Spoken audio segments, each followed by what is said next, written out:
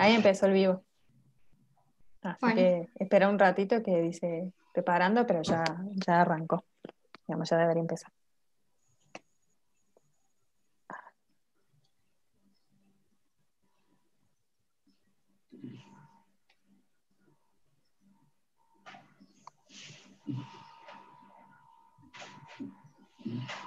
Ahí está, estamos en vivo.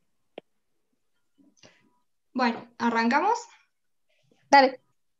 Bueno, eh, bienvenidos a todos. Hoy vamos a dar inicio a nuestra última charla del ciclo webinar en fauna marina. Eh, somos el grupo Fauna de la Universidad Católica de Córdoba. Eh, somos un grupo de estudiantes de medicina veterinaria, quienes, bueno, somos apasionados de la naturaleza y estamos comprometidos con la conservación. Y es por eso que dentro de esta última creemos que la educación es fundamental, eh, porque como dice el proverbio, no se cuida lo que no se ama y no se ama lo que no se conoce. Así que dentro de este marco eh, tenemos a nuestro disertante del día de hoy, que, quien es Juan Pablo Loureiro. Él es médico veterinario, es especialista en reproducción animal, director técnico del Parque Educativo Mundo Marino y Fundación Mundo Marino, y a su vez es docente de la materia eh, Biología, Medicina y Conservación de Fauna Marina en la Universidad Nacional de La Plata. Eh, como todas nuestras charlas, queremos agradecer a la Fundación Mundo Marino por permitirnos contar con todos los disertantes, a bueno, la Universidad Católica de Córdoba por prestarnos la plataforma, a Gabriel Irrazábal y, bueno, por supuesto a Juan Pablo, que no solo es el disertante el día de hoy, sino que también nos dio una gran ayuda en todo lo que fue la organización y probablemente sin él eh, no podríamos estar dando estas charlas el día de hoy. Así que, bueno, las preguntas las vamos a poder leer al final de la charla y sin más, eh, damos inicio y le damos la palabra a Juan Pablo. Bueno, muchas gracias. Gracias al Grupo Fauna, a la Universidad Católica de Córdoba, eh, bueno, por tener la oportunidad de contar un poquito de lo que hacemos acá en Fundación Mundo Marino. Eh, bueno, hoy voy a hablar eh, sobre los aspectos de, aspectos de la atención médico-veterinaria en embaramientos. Y vamos a elegir los cetáceos como la especie a mirar y a tomar como ejemplo y ejemplificar durante toda la charla de hoy.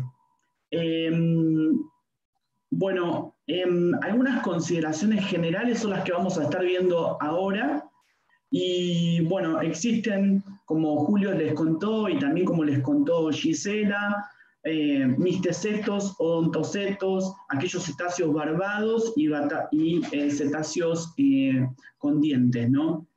Eh, nosotros en Fundación Mundo Marino trabajamos en una gran variedad de estos animalitos que se van a lo largo de toda la costa de la provincia de Buenos Aires. También hemos tenido a lo largo del tiempo un montón de acciones embaramientos eh, más lejanos, como Puerto Madryn, también como Península Valdés, en la parte del estrecho de Magallanes hace ya muchos años. Y bueno, es un, amplio recorrido de muchos años de esta institución en la cual ahora trabajo yo. Y, tenemos a lo largo de estos años, eh, diría yo que sumando las aves marinas, eh, los pinípedos y los cetáceos, eh, y, también los reptiles marinos, eh, tenemos un, gran número eh, y una gran casuística, la cual nos ha dado a lo largo del tiempo un gran conocimiento sobre estas diferentes especies, sobre las amenazas que sufren estas especies de fauna marina en, nuestra, en nuestra costa. Y hemos visto muchas problemáticas asociadas a este fenómeno que es el, el varamiento que siempre sin lugar a dudas llama muchísimo la atención a todos, eh, llama la atención tanto de los expertos, de los estudiosos, de profesionales dedicados a la materia y del público en general.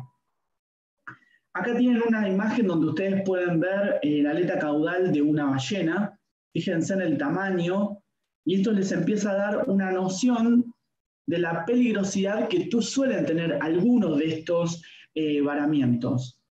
En la otra imagen pueden ver el punto de referencia donde se encuentra hoy la Fundación Mundo Marino y el Parque Educativo Mundo Marino, quien subvenciona a través de, del dinero que ingresa de la entrada de los visitantes, en el público en general, las acciones que lleva adelante la Fundación Mundo Marino eh, en cuanto a investigación, educación y rescate y rehabilitación de la fauna marina. Bueno, acá les voy a presentar un pequeño video para que ustedes se den cuenta eh, más o menos cómo es la zona donde nosotros estamos ubicados, qué características tiene. Es una zona con una gran biodiversidad en cuanto a la fauna, a la flora.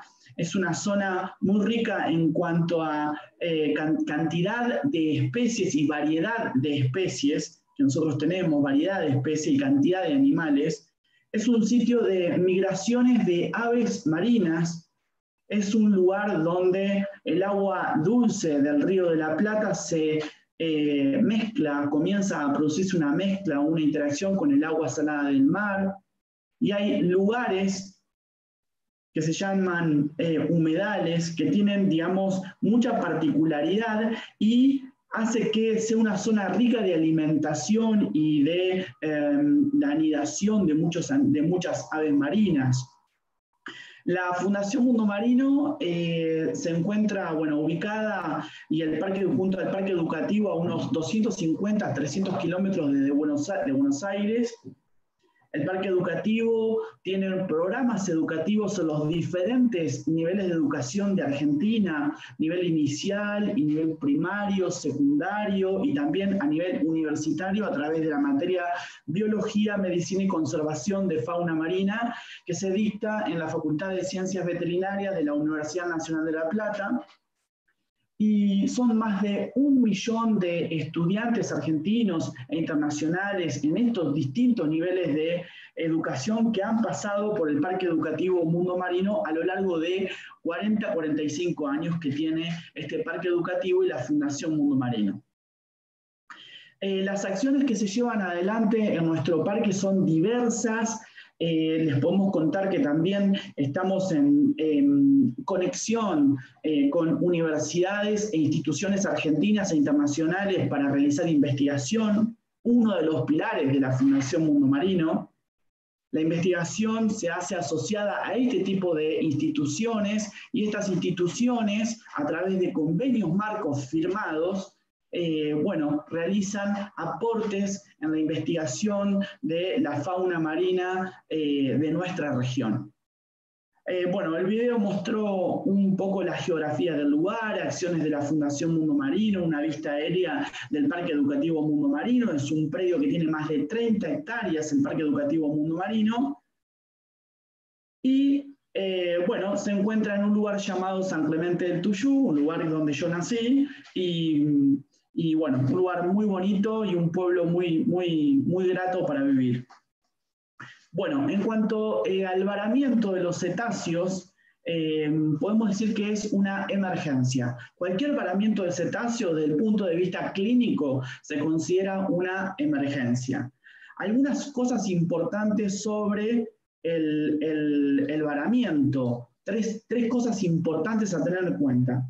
Primero, siempre que asistimos a un varamiento, siempre que vamos a trabajar en un varamiento, los profesionales, tanto los veterinarios, los biólogos, los técnicos, los técnicos, y acá tenemos una gran diversidad de colaboradores en la Fundación Mundo Marino, técnicos en fauna, guardaparques, eh, y también podemos nombrar acá al personal de seguridad que es eh, la Prefectura Naval Argentina. Debemos tener en cuenta que Primero, ante todo, hay que mantener la calma durante el varamiento del cetáceo. Dos, hay que priorizar la seguridad del personal. Lo venimos diciendo en todos los cursos, en aquellas eh, charlas, webinars, eh, jornadas y capacitaciones en, en general. Es importante priorizar la seguridad del personal. Es muy riesgoso, y ustedes vieron una aleta eh, caudal de una ballena, eh, para el personal que está trabajando durante el varamiento, en ese momento pueden existir accidentes que serían muy lamentables para todos nosotros. Entonces, primero, debemos priorizar la seguridad del personal. Otra cosa que es importante es cuanto más grande es el animal y más tiempo está varado, menor es la posibilidad que se recupere el, cetáceo con éxito. Esto es una característica, esto es una tendencia.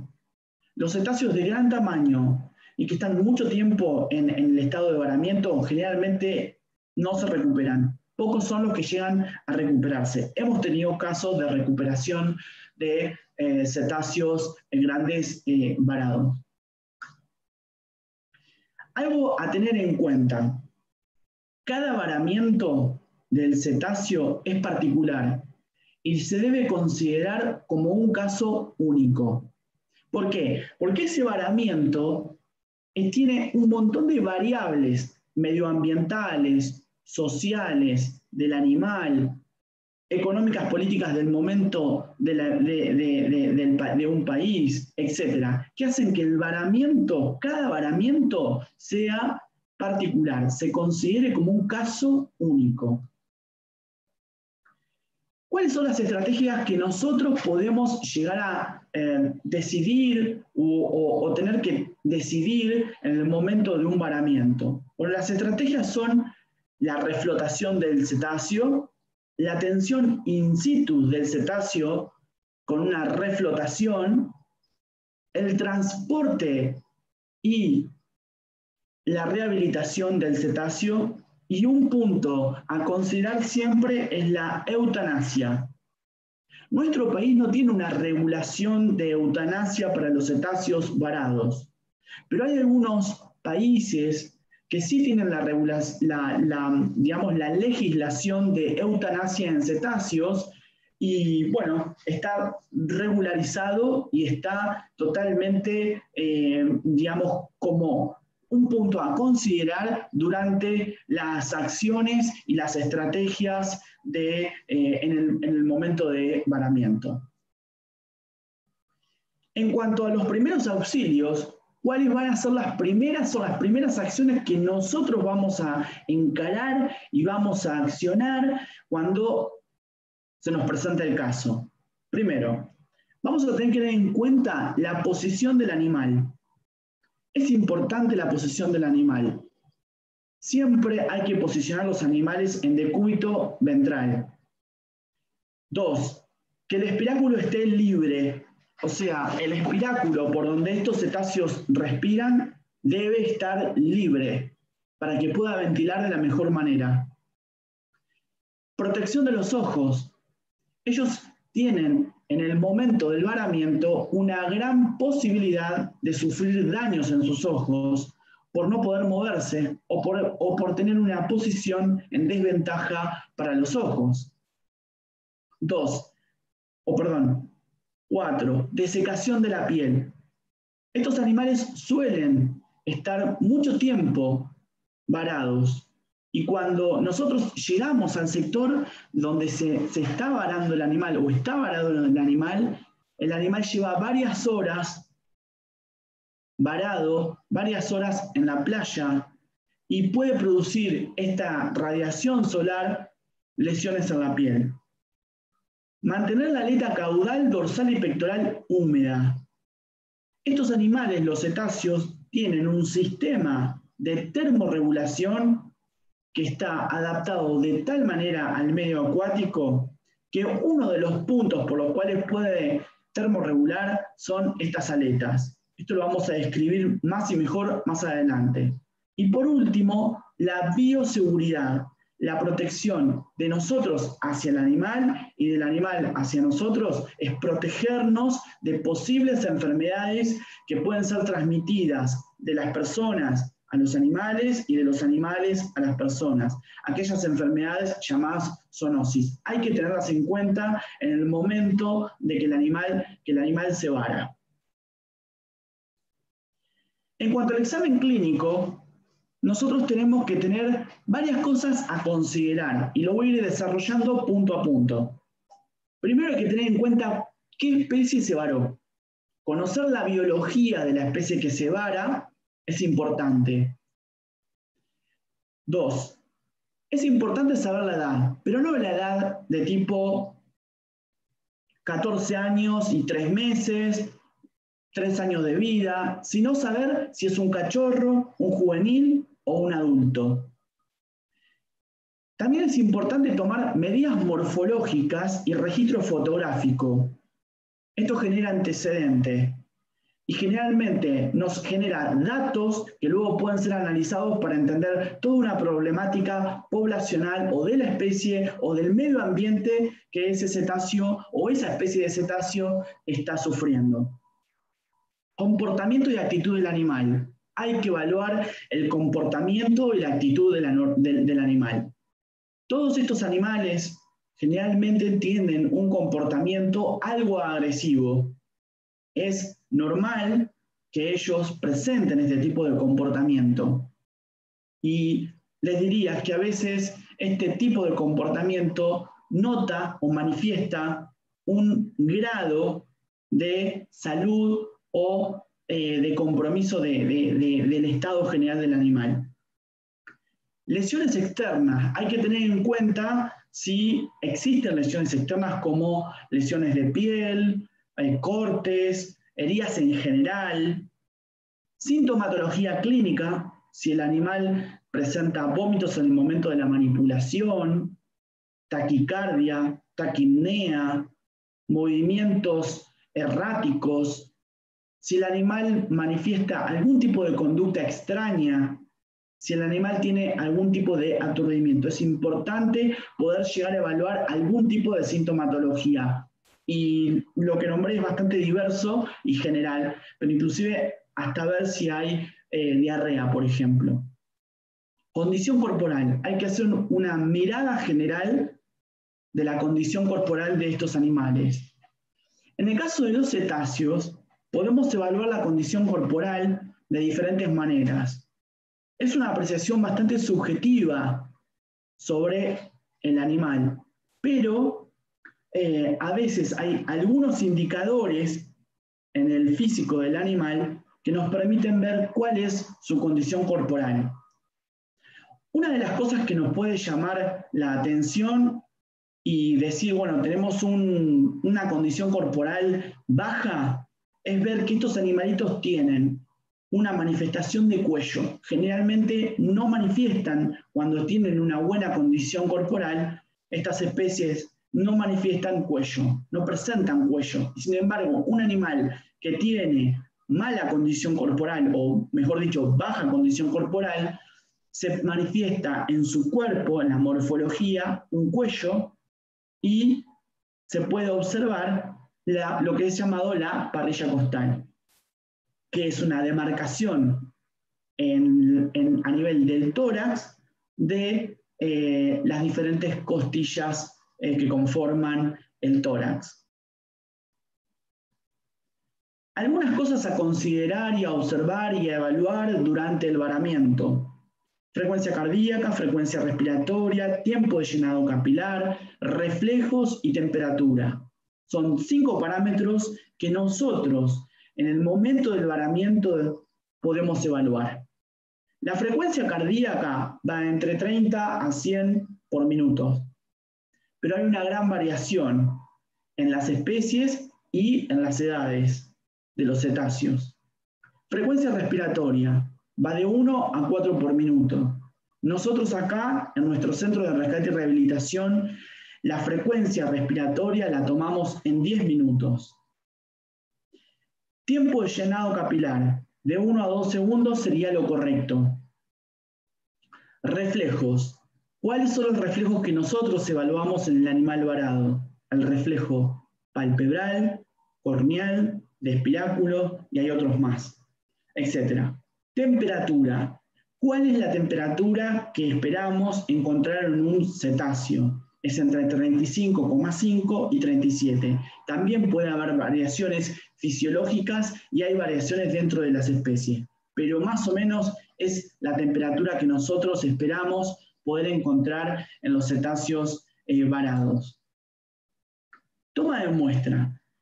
En el momento del varamiento, nosotros necesitamos poder orientar el diagnóstico, un posible diagnóstico de varamiento.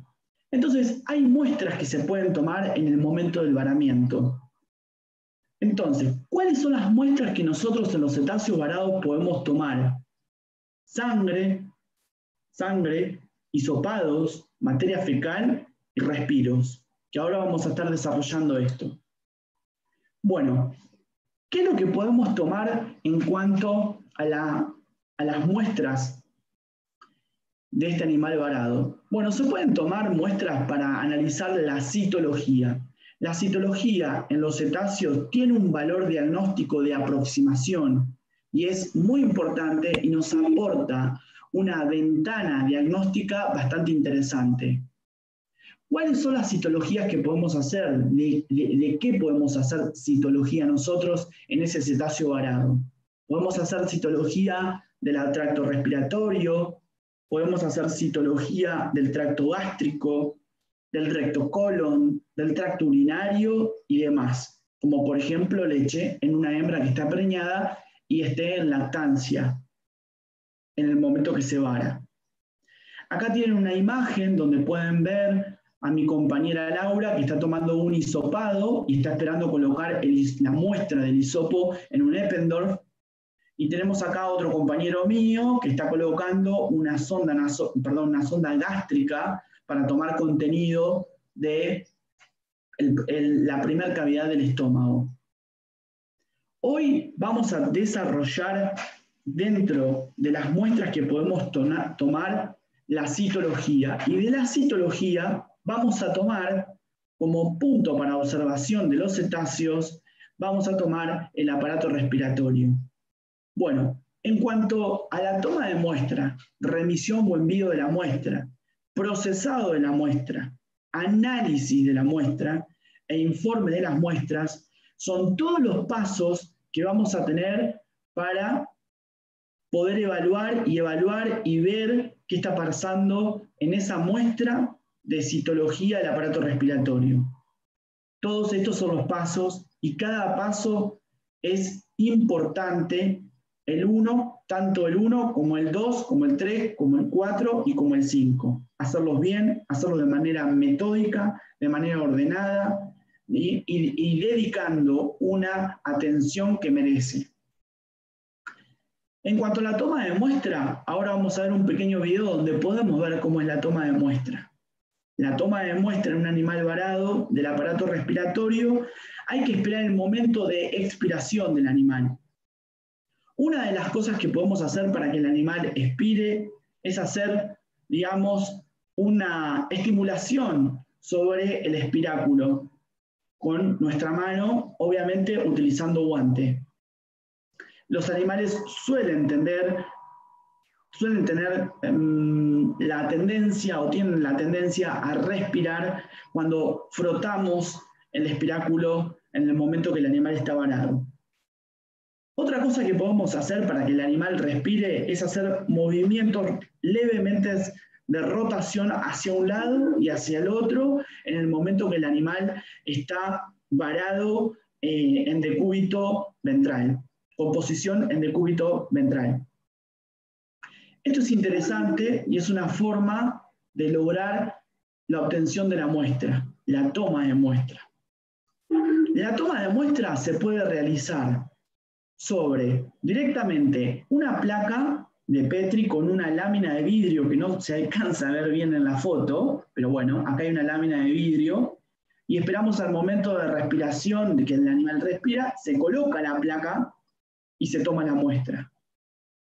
Otra forma en el momento de tomar la muestra es utilizar un vaso de recolección biológico. Es un vaso de los que se puede comprar generalmente en las farmacias para hacer la recolección de orina de nosotros cuando vamos a llevar al, al bioquímico y hacemos la recolección en este tipo de vasos. Yo siempre recomiendo en el momento que se hace la toma en este vaso recolector, colocarlo unos 15 a 20 minutos previo al análisis, previo al, proceso de, análisis de la muestra y procesado de la muestra, colocarlo en la heladera, porque esto hace que la temperatura baja de la heladera de unos 3 a 4 grados hace que todo el moco que se pega sobre la pared del recipiente se condense y baje la superficie y la muestra sea mayor cantidad la que nosotros podemos llegar a recolectar. Bueno, luego de la toma de muestras seguimos con el segundo paso. El segundo paso es la remisión de la muestra hacia el laboratorio, hacia el lugar donde nosotros la vamos a analizar. Hay que hacerlo generalmente en recipientes que mantengan una temperatura medianamente entre unos 20 25 grados, es lo ideal. Si hace mucho calor en verano, a unos 34 grados en playa, es preferible colocarlo en una heladera de tergopol que le podamos poner algún medio de, que le permita enfriar, un hielo, por ejemplo, o esos geles, geles que se ponen y, se congelan y eso hace que se atempere la muestra y no se le ve demasiado la temperatura. Obviamente cuidarlo del sol, Obviamente, cuidar esa muestra en el traslado que no se caiga, que no se contamine con otro tipo de muestra. Esos son algunos cuidados que debemos tener en el momento de remitir la muestra hacia el laboratorio. Procesado de la muestra. Nosotros utilizamos distintas o diversas coloraciones para procesar las muestras de respiro, de lo que es el esputo respiratorio, fluido respiratorio. Una de las coloraciones que utilizamos por practicidad es la tinción 15, pero también podemos utilizar otras tinciones como mezclas de metanol para fijar y o también se puede utilizar otras coloraciones como azul de metileno que todos las deben conocer. Son bastante simples, rápidas. A mí particularmente, eh, de preferencia, tengo la tinción 15 porque me parece que es rápida, práctica y me da una diversidad de colores al momento de evaluar la muestra que me parece muy bonito y muy práctica para analizar.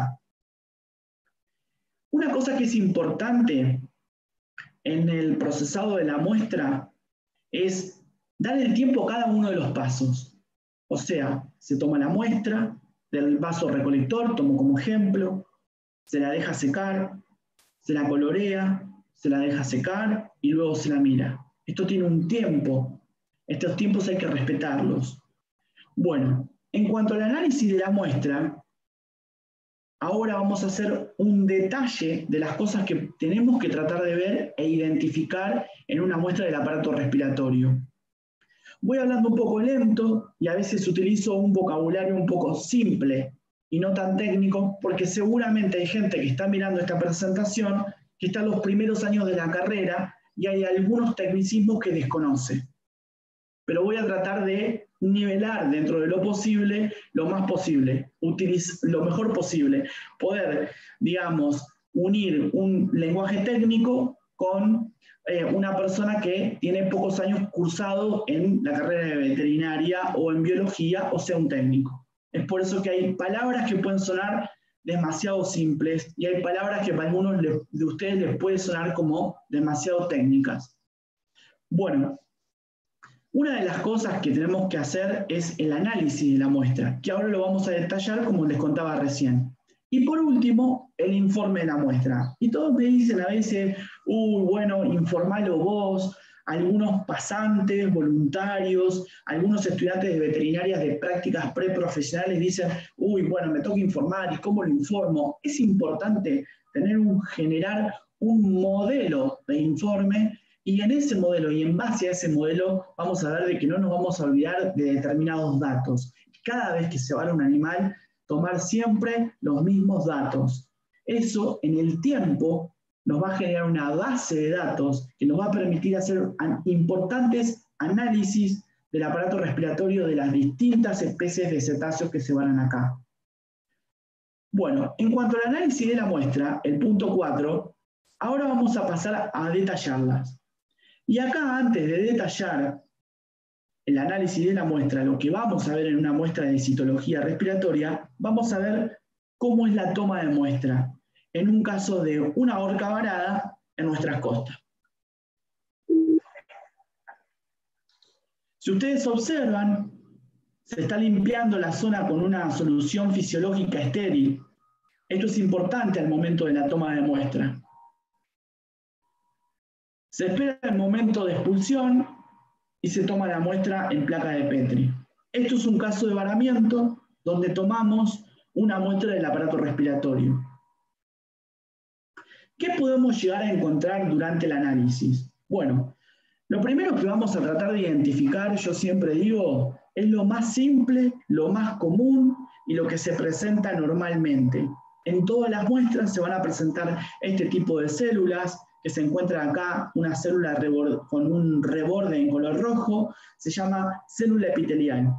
Estas son células que provienen de todo el tracto respiratorio, tanto de las, de las vías aéreas superiores como parte de las vías aéreas inferiores.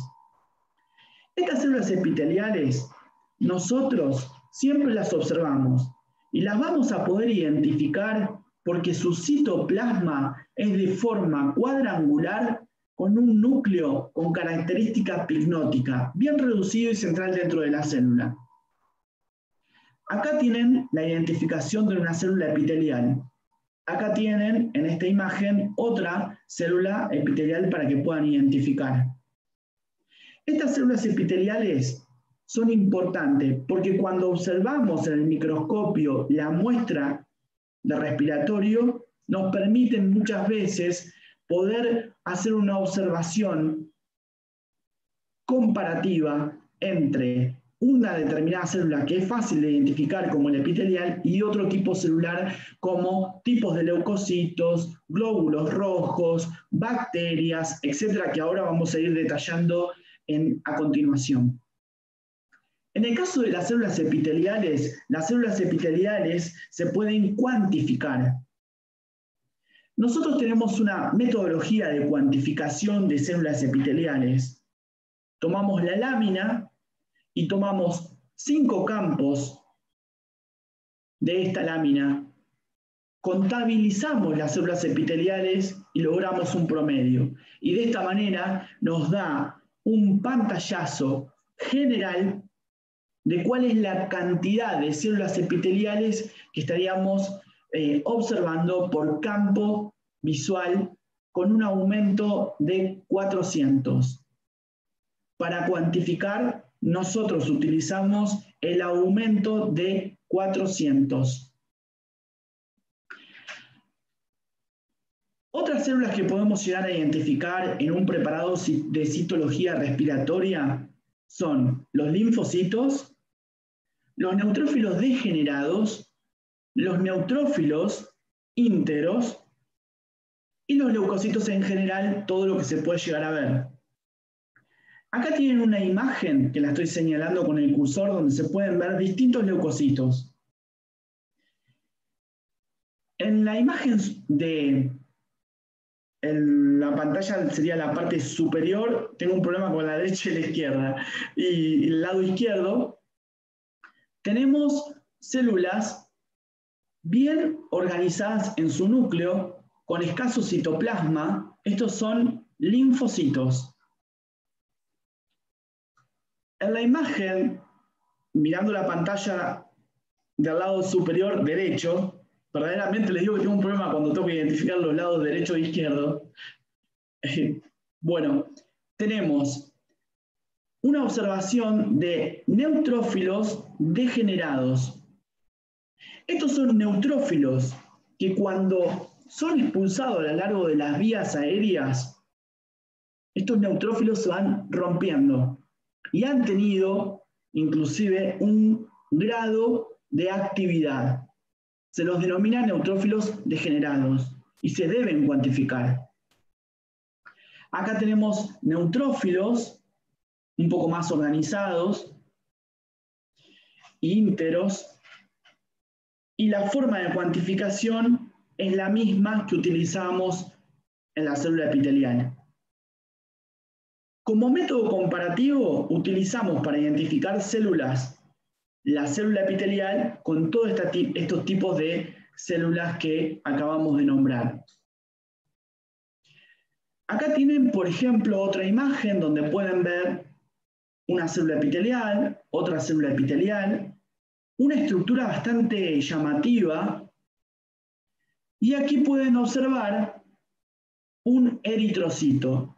Por lo general, los glóbulos rojos que se encuentran en las uh, citologías respiratorias son de característica restringente. Y en este en esta imagen voy a marcar lo que recién le decía, la importancia de hacer la, observación comparativa entre células. Fíjense, ustedes tienen una célula epitelial comparada con un eritrocito, puede ser así o un poquito más grande. Fíjense que esta es una célula epitelial y el tamaño del, del eritrocito es aproximadamente del tamaño del núcleo de la célula epitelial. Esto es importante en el momento de hacer la identificación celular. Una estructura que tenemos que ver acá es esta estructura que tiene forma bien esférica o redonda, donde tiene un citoplasma que se marca bien, se tiñe fuertemente, de manera basófila, una especie de núcleo.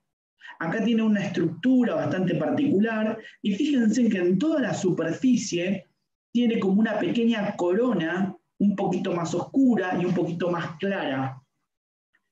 Bueno, esto es un protozoo, es un ciliado que generalmente habita en los cetáceos, en el aparato respiratorio, y se cree que el 50% de los cetáceos que están en la naturaleza presentan este tipo de, eh, ciliados em, unicelulares que pertenecen al reino protista.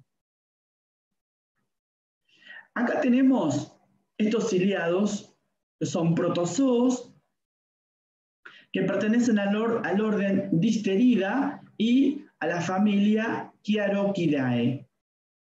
Estos son interesantes de ver.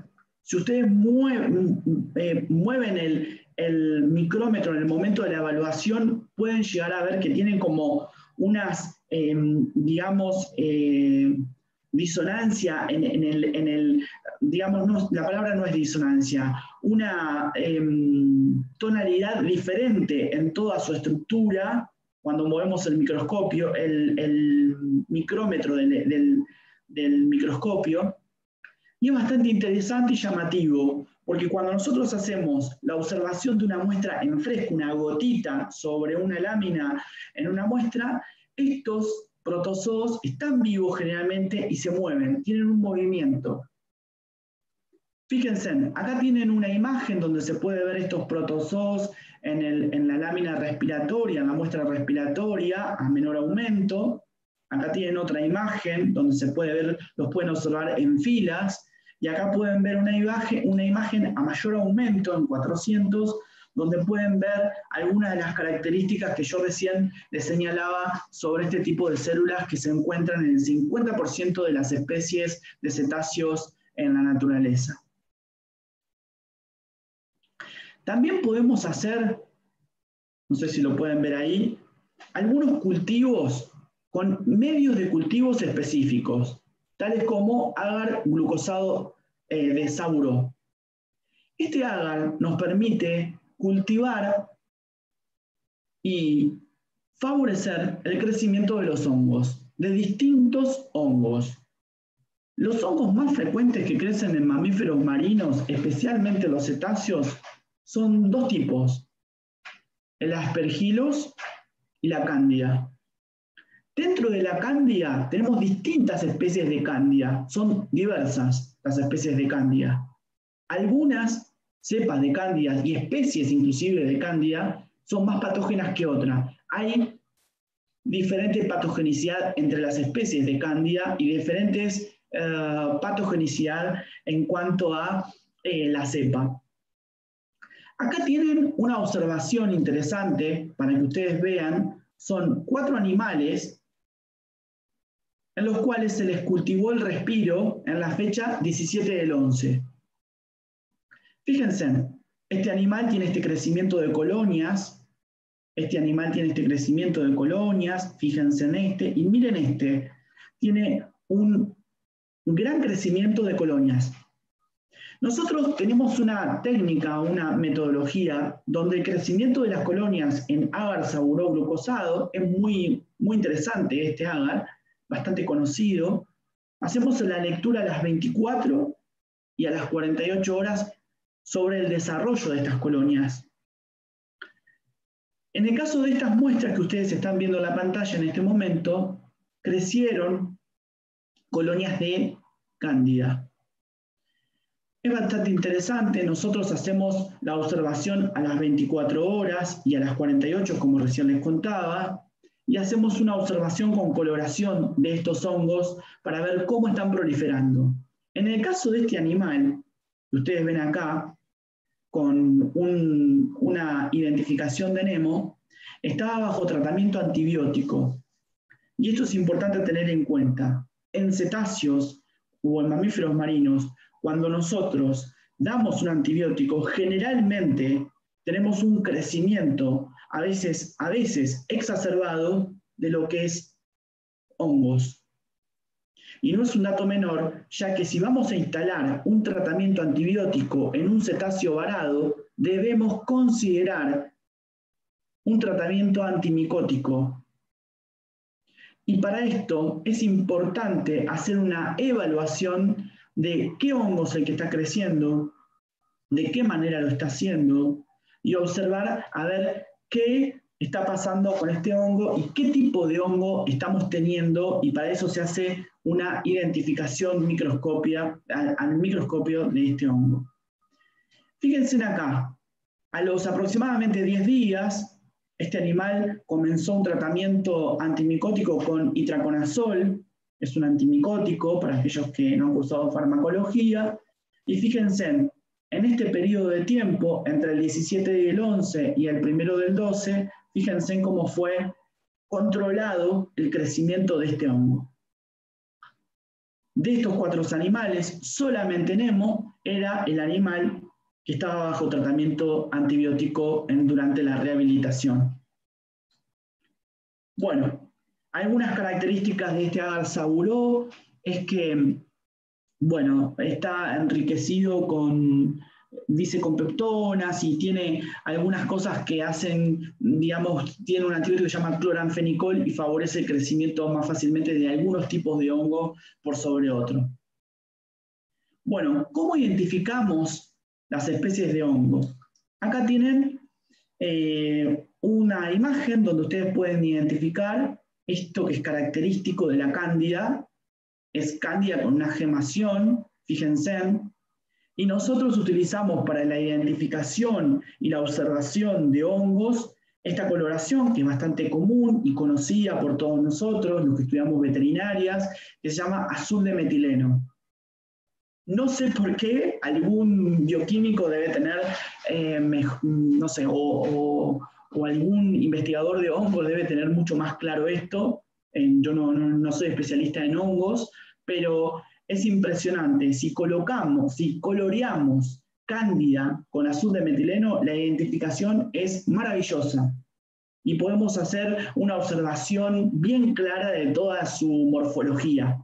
En cambio, si hacemos una coloración COTE 15, que es una de mis coloraciones favoritas para eh, la observación de la citología respiratoria, no es tan claro, no es tan claro eh, toda su, morfología, su identificación morfológica, su observación morfológica. Algunos em, discos para antimicograma, o sea, son pequeños discos, como se utilizan en los antibióticos para para ver eh, a, qué, a, qué, antimicótico es em, sensible eh, este, esta cándida, por ejemplo, que está creciendo. Bueno, nosotros utilizamos este tipo de disco muchas veces, no siempre, para eh, colocar en el medio de cultivo y poder ver cuál es el mejor antimicótico para comenzar un tratamiento con un antimicótico en este animal en rehabilitación en un animal en rehabilitación. Bueno, otra de, las, de, las, eh, de los organismos que observamos durante las citologías respiratorias son las bacterias. Generalmente, y no lo, no lo, sé muy bien, pero cuando nosotros hacemos la observación de la citología respiratoria, vamos a observar que las, eh, las bacterias eh, bueno, se organizan, ustedes saben que se pueden organizar en cadenas, en agrupaciones de racimos, generalmente se van como relacionando y acercándose a la célula epitelial. Todo esto que ustedes están viendo acá son agrupaciones bacterianas que se, que se van organizando y generalmente se las puede ver más fácilmente asociadas o relacionadas a las cercanías de las células epiteliales. Esto es una característica que sucede, que suele suceder generalmente, que se puede observar fácilmente. Acá tienen algunos de los ágares que nosotros utilizamos para cultivo de las muestras respiratorias, porque con estas muestras respiratorias nosotros podemos hacer cultivos de hongos y también de esto que ustedes tienen acá, eh, de, bacterias a través de, perdón, de estos ágares que tienen acá, como agar sangre, agar saburó, que era el que recién les nombraba, y agar cerebro corazón, que son del, bueno, un poco la idea es mostrarles cuáles son los agares que nosotros utilizamos para poder observar bacterias del aparato respiratorio. Y después un agar Müller-Hilton para hacer la identificación con discos eh, anti, eh, de antibiograma, ¿no? de antibióticos. Bueno, acá tienen una, para aquellos que, no lo tienen por ahí tan internalizado o que aún no han, eh, digamos, cursado materias como farmacología y clínica, pueden observar algunos discos de, que se utilizan para el antibiograma. Nosotros utilizamos discos sueltos y también la tira de disco reactiva en forma de, estrella. Eh, nosotros, bueno, compramos los discos, algunas datos de color nada más, simplemente como para que ustedes vean cómo trabajamos nosotros, que, o sea, los libros cuentan algo, pero nosotros podemos contarles la experiencia, que creo que es lo más rico de esto, de este tipo de presentaciones, contar experiencia. Eh, bueno, nosotros tenemos estos pequeños tubitos, que son tubos de eh, discos, que se encuentran de manera estéril y apilados, uno sobre otro, eh, se colocan en la heladera y son discos de enrofloxacina. Acá tienen otros antibióticos como eritromicina, puede haber discos de, de, todo. Nosotros utilizamos una diversidad de discos eh, para antibiograma, eh, de para probar distintos antibióticos. Utilizamos eh, discos de amoxicilina, amoxicilina más clavurámico, enrofloxacina, utilizamos eritromicina, bueno, algunos discos de amicacina, gentamicina, bueno, diversos discos de Em, de, utilización para, anti, mm, mm, eh, para. Bueno, en cuanto a la muestra del aparato respiratorio, nosotros hacemos una evaluación macroscópica y una evaluación microscópica. Recién vimos el análisis de la muestra y vimos todo el desarrollo de la evaluación microscópica de manera detallada. Pero, ¿qué es lo que miramos nosotros en la muestra? En la muestra del aparato respiratorio observamos y hacemos un examen macroscópico de, esta, muestra, donde observamos el color, el olor, el aspecto, la consistencia y el pH. ¿Y qué es lo que miramos del color? Si es un color transparente, blanco, gris, verdoso, amarronado, rosa, rojo, con diferentes tonalidades. Esto es importante mirarlo porque a veces nos da indicio. Hay algunas bacterias que dan una coloración de la mucosidad del moco, que nosotros estamos evaluando, de un color verdoso. A veces podemos ver un, moco eh, rosa y esto nos implica que hay una pérdida de sangre en algún lugar del aparato respiratorio. Por eso es importante poder observar la coloración de la muestra. Nos orienta. También observamos el olor. El olor es importante observarlo y tratar de, poder dilucidar qué tipo de olor tiene el, respiro, la muestra que nosotros tomamos en ese momento. Puede ser levemente a pescado, puede ser olor a carne podrida, aunque ustedes no lo crean, sí, hay animales que vienen con procesos, eh, digamos, infecciosos agudos, de neumonía, de bronquitis, de, eh, de broncotraqueitis, bueno, entonces estos procesos generalmente dan olores fuertes, dolores de pútridos, eh, ni hablar de procesos necróticos en, pulmón, bueno, ocasionan este tipo, generalmente eh, dan este tipo de olor fuerte, ¿no? A lo que se observa o se puede decir que es olor a carne podrida. También hay algunos eh, olores que se suelen identificar como olor a levadura o masa de pan. Muy característico en algunos hongos como Cándida. Si observamos un animal que tiene una micosis eh, en todo su aparato respiratorio, vamos a observar que tiene un olor eh, a masa de pan o levadura y ese olor es bastante característico en aquellos animales que proliferan eh, en gran cantidad los hongos como Cándida. El aspecto de la muestra tenemos que observar de manera macroscópica, ¿no? Cuando hablamos de manera macroscópica, comenzando la carrera de veterinaria, es a ojo desnudo, como le decimos, o sea, a simple vista. Eh, bueno, puede ser una coloración, un aspecto límpido, así transparente sería eso, o turbio, como grumos, ¿no? Eh, después, la consistencia. Bueno, la consistencia, si somos varios los que evaluamos la consistencia, siempre hay como un gran debate sobre la consistencia del moco, si es líquido homogéneo, mucoide homogéneo, transparente, mucoide, mucoide transparente, mucoide homogéneo, etc. Y también eh, podemos evaluar de manera macroscópica el pH. Un pH normal es entre 7,4 y 8,5. A nivel microscópico, lo que evaluamos son aquellas células que fuimos describiendo en todo el análisis de la muestra, de manera detallada. Podemos observar células epiteliales, que ya las describimos, algo normal o por lo menos que no asusta es de 0 a 5 por campos. Fíjense que pongo el número 400 porque es el tipo, es el tipo de aumento que utilizamos para cuantificar las células.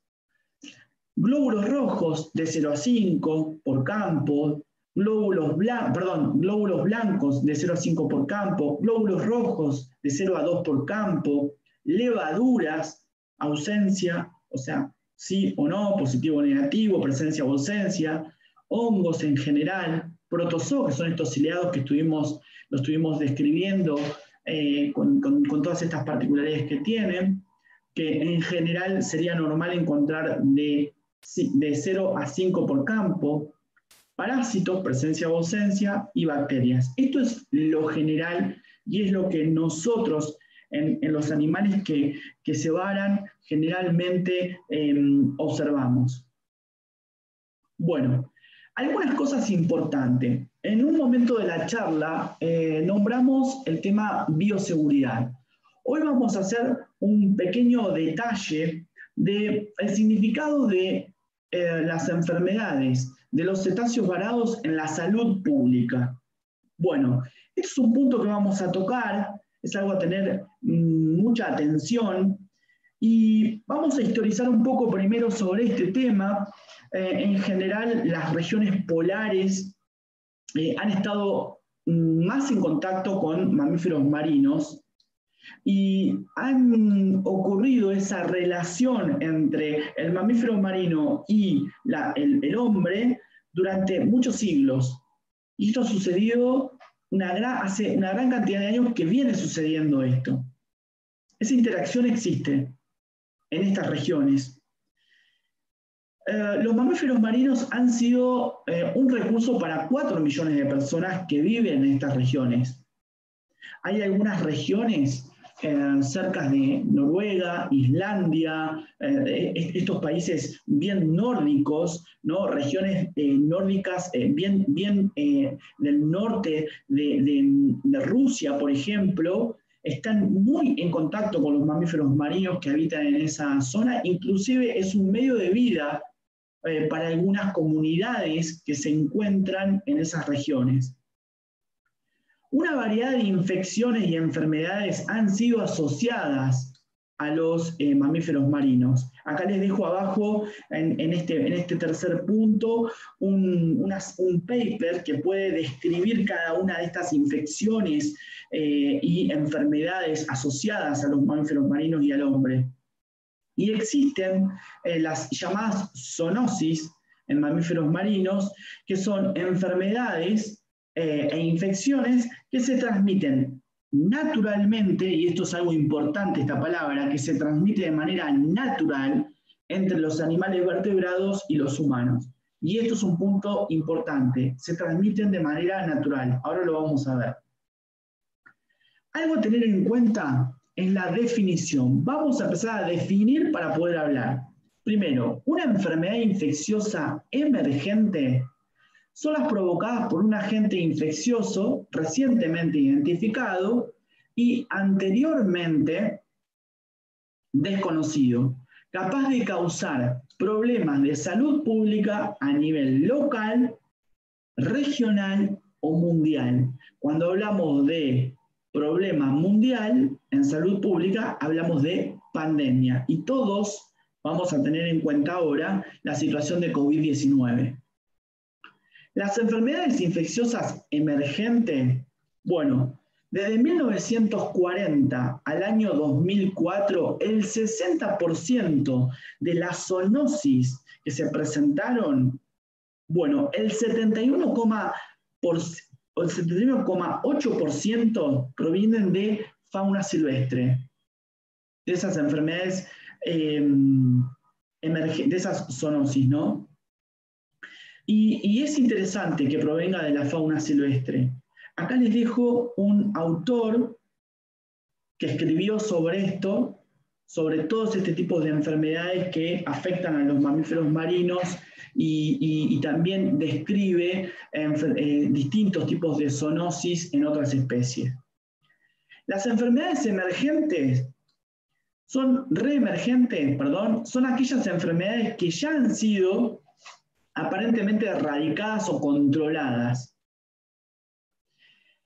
o su incidencia ha sido disminuida. Son todas aquellas enfermedades infecciosas conocidas que después de un determinado tiempo reaparecen y generan problemas serios en la salud pública. Aparecen a menudo y cobran eh, proporciones de tipo epidemiológica importante. Y una de las enfermedades que ha sido bastante controlada, ha sido bien controlada, fue la tuberculosis. Pero con este, esta nueva aparición de enfermedades de inmunodepresión como el HIV, han reaparecido y se la considera por muchos autores a la tuberculosis como una enfermedad reemergente, que a partir de una situación, estas enfermedades son tienen o se les presenta la oportunidad y comienzan a aparecer y a frecuentar en una determinada eh, población o situación o caso epidemiológico. Bueno, hay una frase que decía un profesor mío de la facultad que decía, no se enferma quien quiere, sino quien puede enfermarse. Hay una cuestión acá que es a tener en cuenta y analizar que tenemos por un lado el patógeno, por otro lado tenemos el huésped y por otro lado tenemos el medio ambiente. Y digo por otro lado, pero si bien utilizo la frase por otro lado, estos, estos tres elementos conforman una, una organización en lo que se llama eh, triada epidemiológica. Los biólogos y estudiantes de biología generalmente lo conocen o lo estudian como triada ecológica. Y esta triada eh, ecológica no está uno por un lado, otro por otro lado, sino que está en relación. Y cuando alguno de estos no está en equilibrio, se pierde ese equilibrio de triada epidemiológica, aparece la enfermedad perdiéndose el estado de salud. Es poco frecuente, por datos de, de, estadísticas y trabajo científico, que los humanos contraigan zoonosis de los mamíferos marinos. Aunque yo acá tengo alguna nota para decirles, yo creo que si bien eh, es bajo o poco frecuente, mejor dicho, la presencia de, de, zoonosis y, de enfermedades y de casos de, de humanos que se han enfermados, o, mejor dicho, personas que se han por, por enfermedades que fueron transmitidas desde los mamíferos marinos al hombre o del hombre inclusive a los mamíferos marinos, eh, creo que hay una cuestión también de eh, subdiagnóstico. Muchas de estas enfermedades tienen eh, signos inespecíficos, como por ejemplo fiebre y decaimiento, y a veces esa, esa sintomatología puede ser asociado más a una gripe estacional y sin embargo la persona, el cuidador, el rescatista, el veterinario, el investigador está atravesando una enfermedad que fue transmitida eh, del mamífero marino a, eh, ella que estuvo eh, en contacto. También suele pasar, y esto es, eh, no es un tema que no es menor, que existe una carencia para poder diagnosticar estas enfermedades. Entonces, eso es algo a tener en cuenta, porque no tener a veces los elementos para llegar al diagnóstico definitivo, esto implica que exista un subdiagnóstico de estas enfermedades eh, transmitidas desde los mamíferos marinos al hombre o viceversa. Las zoonosis eh, se definen como, bueno, se definen como infecciones o enfermedades que se transmiten naturalmente, esa es la palabra interesante acá, entre los animales vertebrados y el hombre. Así lo denomina la Organización Mundial de la Salud.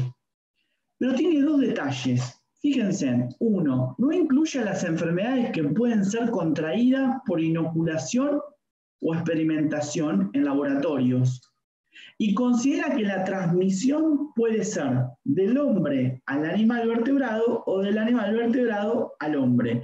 Esto no es un dato menor y lo vengo repitiendo en toda la presentación. ¿Cuáles son las vías de transmisión?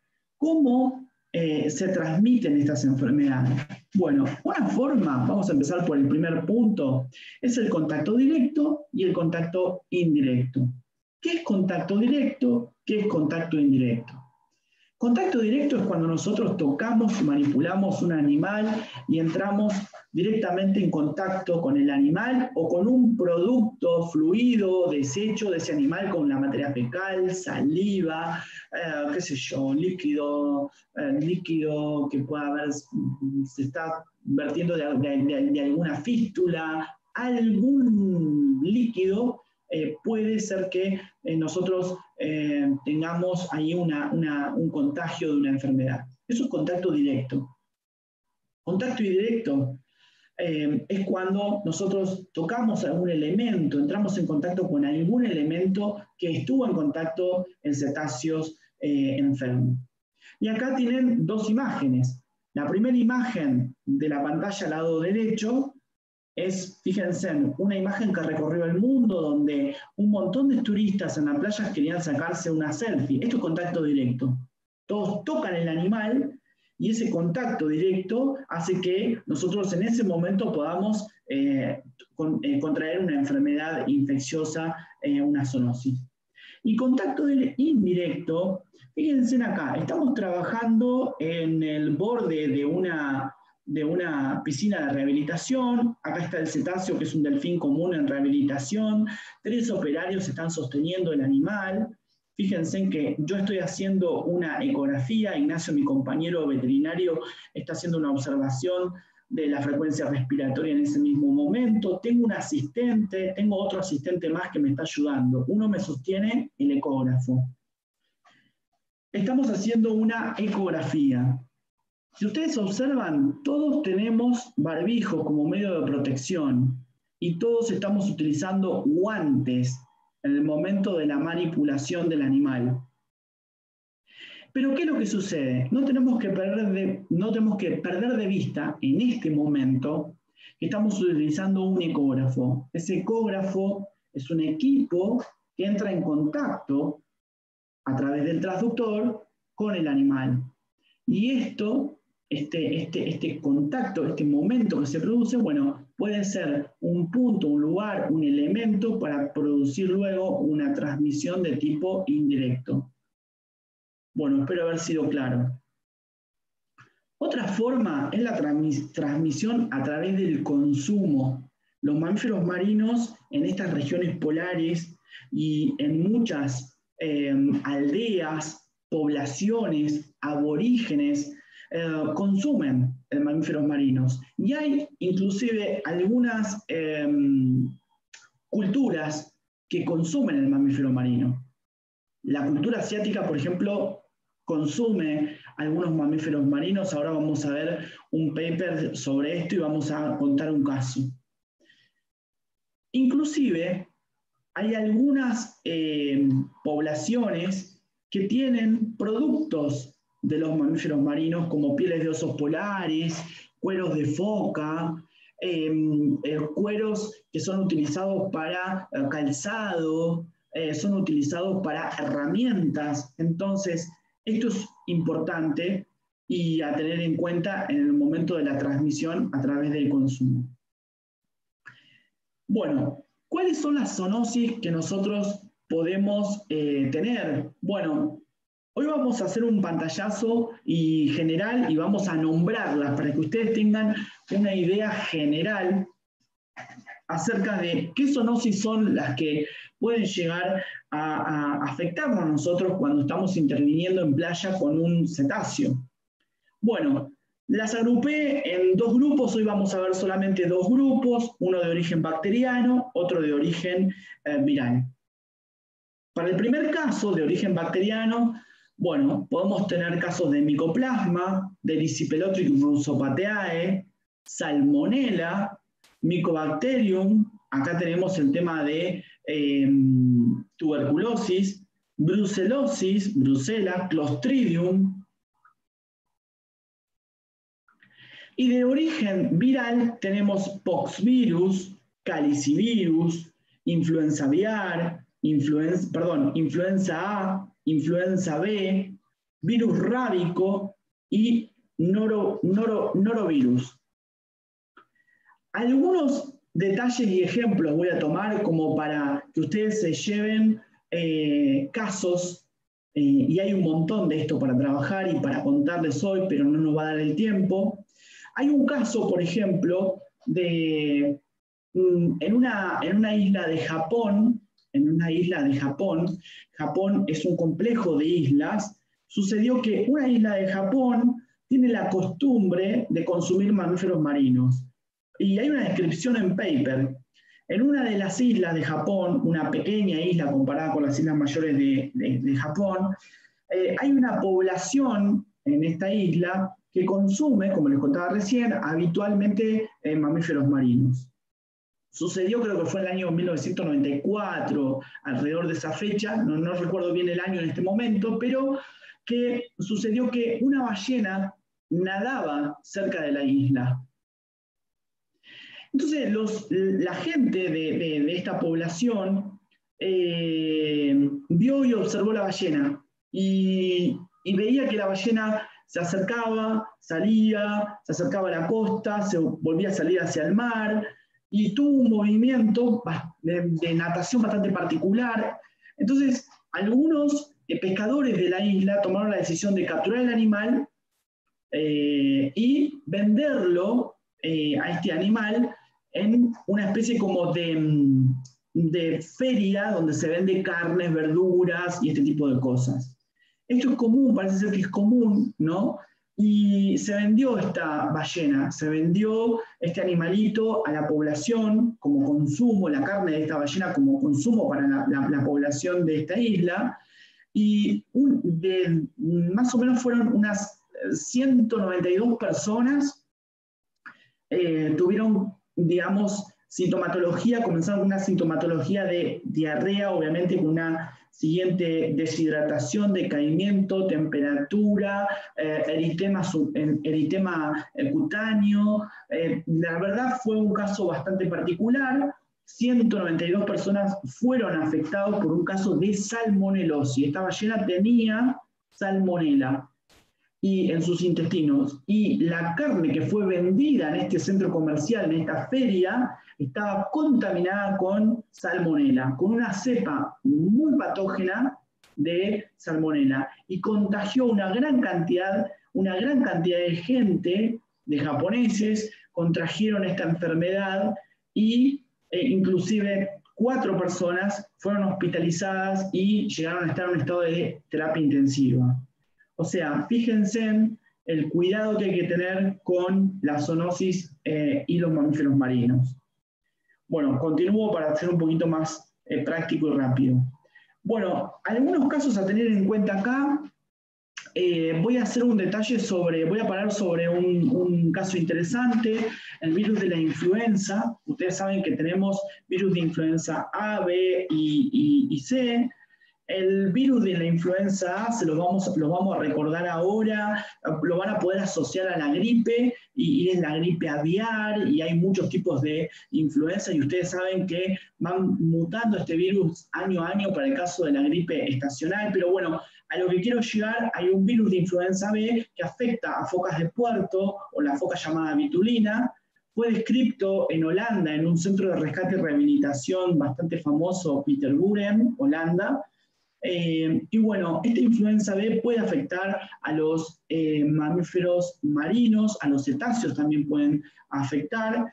Y eh, está descrita la presencia en paper y en algunos registros científicos de esta influenza B en todo lo que es hemisferio norte.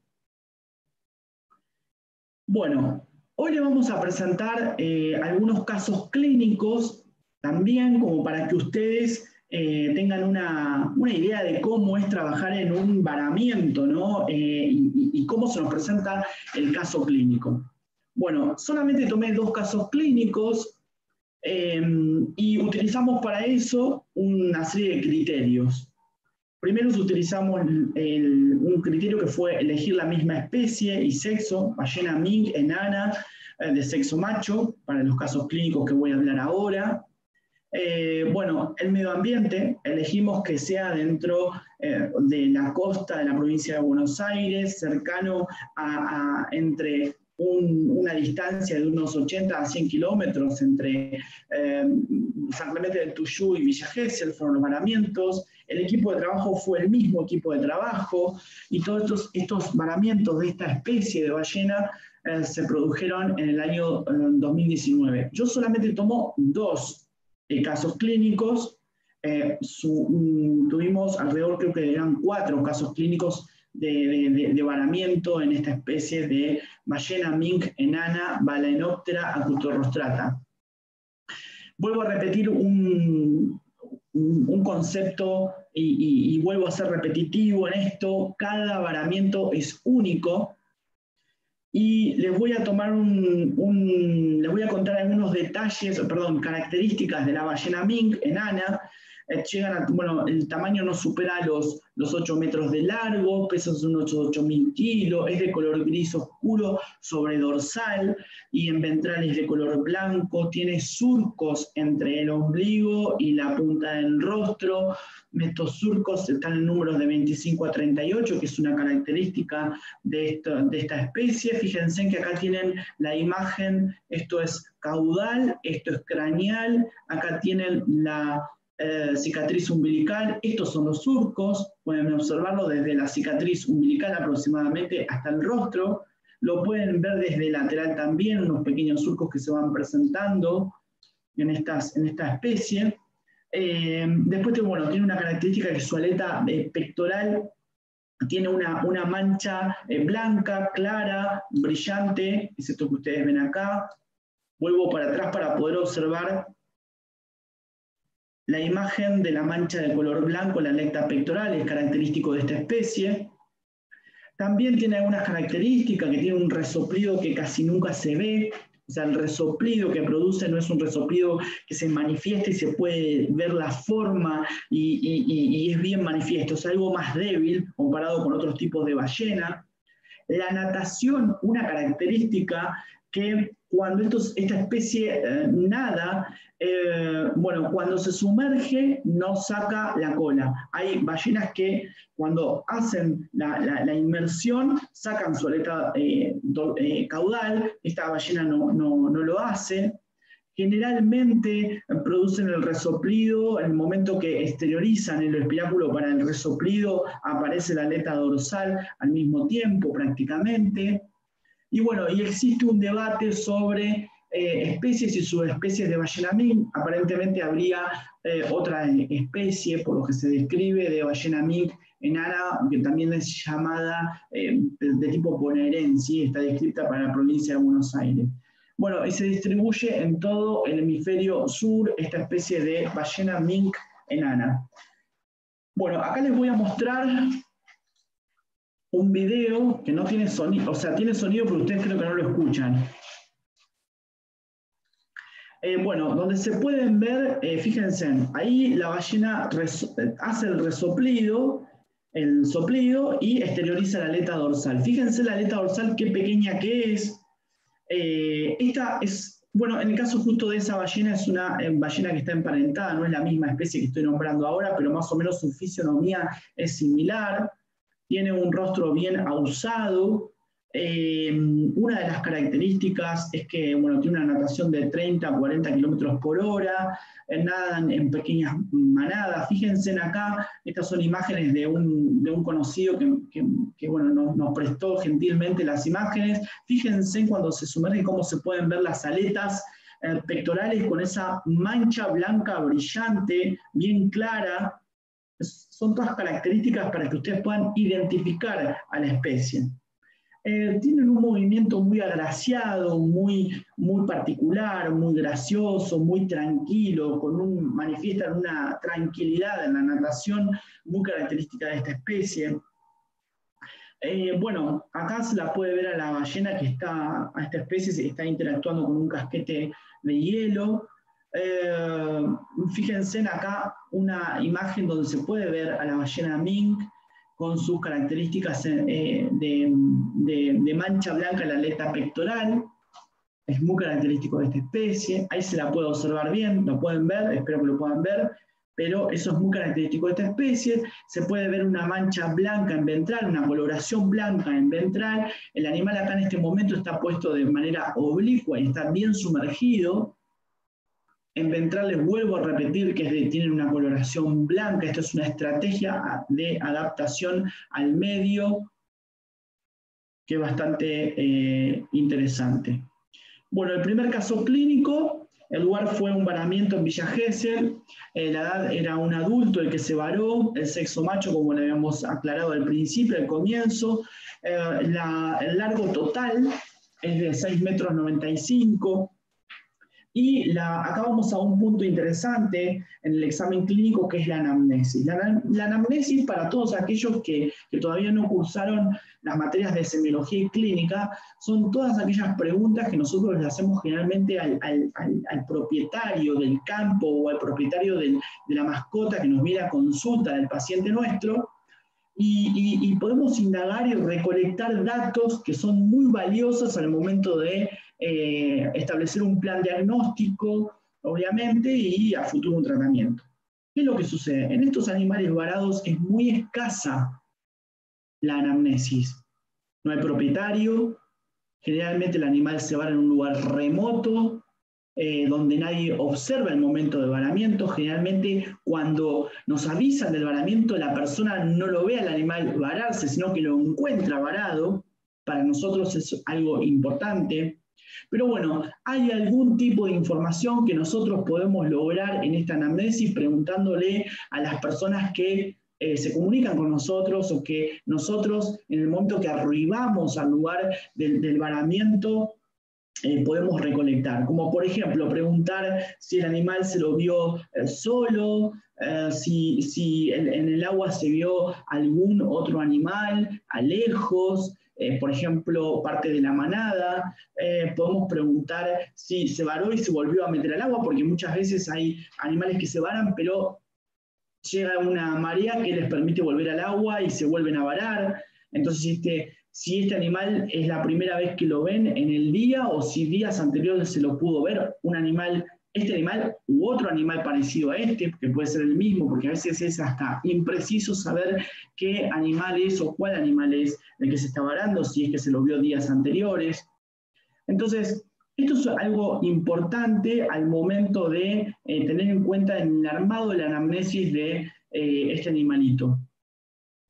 Bueno, este animal murió eh, la noche anterior, el animal estaba vivo, varado. Nosotros por cuestiones de seguridad, no trabajamos en rescate y rehabilitación de noche, porque ponemos eh, en riesgo eh, crítico muy peligroso al personal que trabaja. Es muy difícil y es muy eh, peligroso trabajar en el varamiento de, cetáceos así grandes, tan grandes como estos, eh, de noche. Es muy peligroso y nosotros por un protocolo de seguridad y obviamente inclusive la autoridad de aplicación de seguridad que es Prefectura Naval Argentina prohíbe, eh, digamos, el, trabajo eh, con estos cetáceos en el horario nocturno. Bueno, este animal se varó, eh, por la tarde-noche de un día, al otro día aparece muerto. Hicimos la necropsia, fue en la localidad de Villa Gesell, como estaba descrito anteriormente, eh, y observamos que, bueno, acá pueden ver cómo se hace la necropsia en general en una ballena tan grande. Fíjense, se utilizan ganchos, cuchillos y se van sacando lonjas de grasas, de grasa, es la manera más fácil, participaron tres estudiantes de la Universidad Complutense de Madrid, con cuales nosotros tenemos vínculos de eh, parte y de colaboración a través de convenios marcos que nos permiten trabajar en docencia e investigación con esta universidad de España, que es número 19 en el ranking mundial de facultades internacionales de eh, veterinaria. Eh, quiero acá hacer una nota, más de 15 universidades, universidades eh, de Argentina, ¿no? privadas, públicas, de Latinoamérica y de Europa han generado convenios de parte con nosotros y son convenios de parte que nos permiten hacer docencia e investigación y es, son convenios muy interesantes y Fundación Mundo Marino es hoy en Sudamérica un centro de referencia para la educación de eh, los estudiantes de veterinaria y biología en todo lo que sea eh, fauna marina. Bueno, acá podemos ver cómo empezamos a abrir el animal. Bueno, y nosotros tenemos la característica siempre de eh, ser muy cuidadosos en trabajar, primero con cavidad abdominal, luego con cavidad torácica. Para el caso de la cavidad abdominal, observamos que, bueno, tienen algunas características anatómicas estos animalitos. Eh, los, cetáceos, en este caso estas eh, ballenas, tienen un estómago, es un estómago que tiene tres cavidades diferentes, por lo cual lo denominamos como policavitario. Eh, y también tiene una mucosa ese estómago que se diferencia en dos partes. Una mucosa que es aglandular, en su histología no presenta glándulas, y otra mm, parte de la mucosa que sí presenta glándulas. Por esta composición de una parte glandular y una parte aglandular se clasifica como eh, un estómago compuesto, a lo cual eh, para la nómina anatómica veterinaria la clasificación del estómago de los cetáceos es policavitario compuesto. Eh, también tenemos un, gran intestino en estas especies. Es particular eh, observar en esta especie de cetáceos que los intestinos, los intestinos no tienen una fácil identificación entre lo que es intestino delgado e intestino grueso.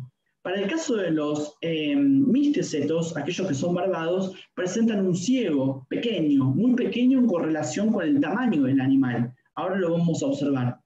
Pero para el caso de los odontocetos, aquellos cetáceos que tienen dientes como las orcas, los delfines, el cachalote, la pontoporia, no, tienen esa, presencia de ese ciego. Lo único que tenemos para identificar digamos, el cambio del intestino delgado a intestino grueso es, digamos, la eh, disposición de eh, los vasos sanguíneos, que es bastante particularidad, de bastante particular. Bueno, algunas características también interesantes de los cetáceos, para aquellos que no tienen el conocimiento anatómico general, es que sus, sus riñones son bastante particulares, tienen, son policavitarios, perdón, son eh, polilobulados, me corrijo, son polilobulados eh, y tienen una, cápsula que los rodea, una cápsula de tejido conjuntivo que es eh, bastante laxa y fácil de desprender normalmente. y esta clasificación es, muy eh, particular de los mamíferos marinos, tanto de los cetáceos como de los pinípedos, y esta em,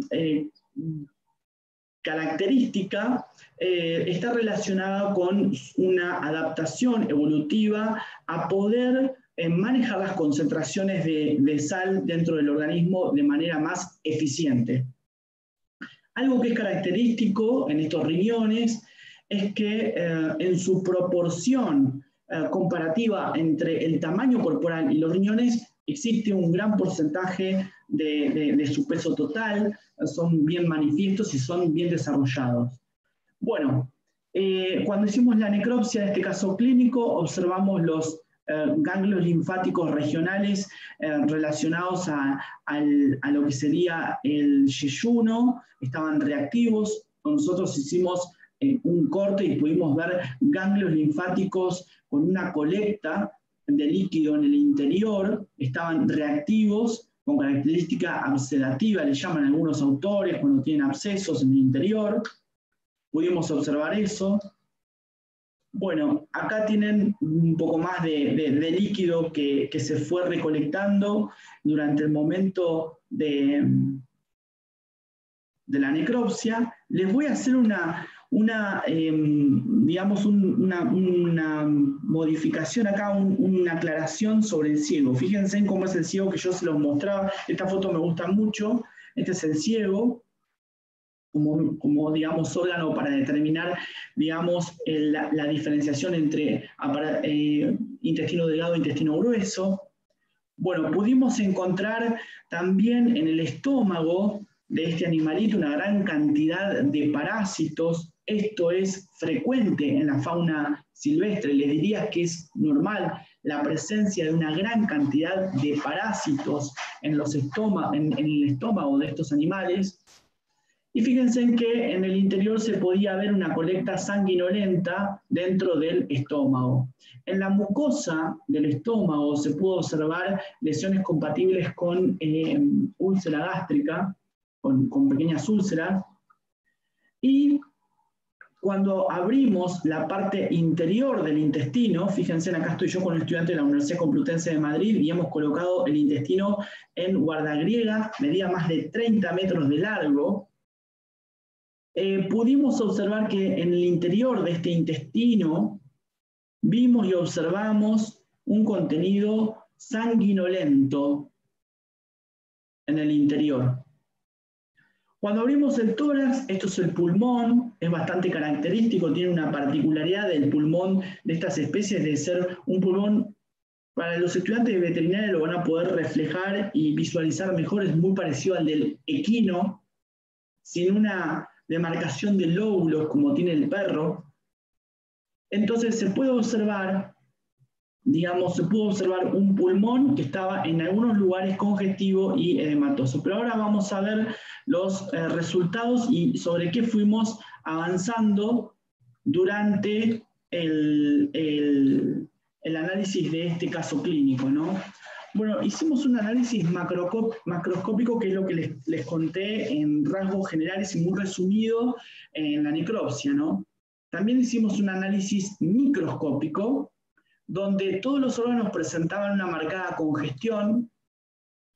El estómago tenía una leve gastritis erosiva aguda, el intestino tenía intestino delgado con congestión marcada, con una leve respuesta inflamatoria asociada.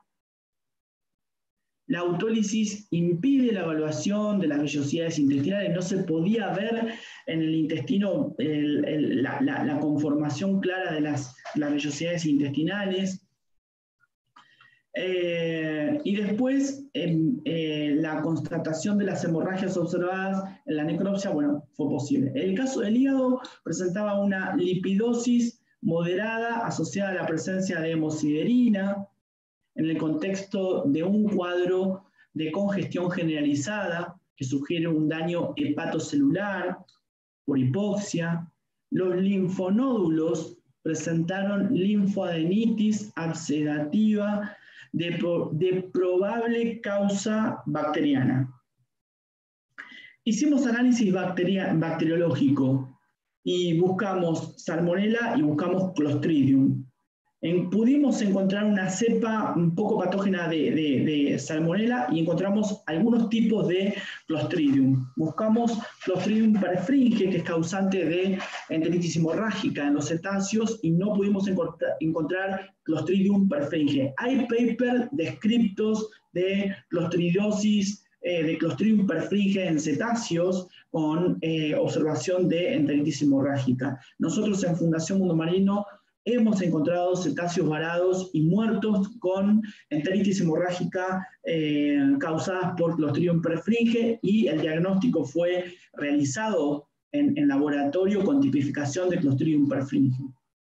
Hicimos análisis virológico, nosotros estamos trabajando a través de estos convenios marcos entre las distintas universidades, eh, eh, pudimos encontrar, digamos, el GEMP, Em, bueno, estuvimos trabajando en realidad con gen P para morbillivirus y nos dio negativo, pero sí nos dio positivo el gen NP de influenza A y B.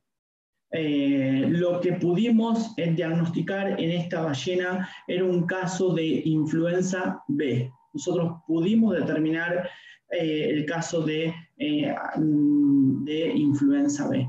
Eh, todos estos análisis los hicimos con la VIR, que es, un laboratorio de diagnóstico virológico que pertenece a la Facultad de Ciencias Veterinarias de la Universidad Nacional de La Plata, con quien nosotros mantenemos convenios de partes eh, donde presentamos o acordamos colaborar en investigación y en educación, como les contaba recién.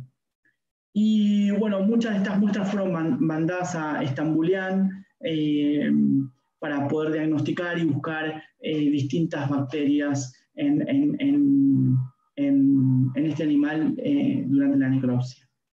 Otro caso clínico que atendimos fue en Punta Rasa. Punta Rasa es ese lugar eh, muy característico con una gran biodiversidad donde se encuentra la Fundación Mundo Marino. Prácticamente yo lo tengo acá a unos 800, 1000 metros de donde estoy sentado ahora.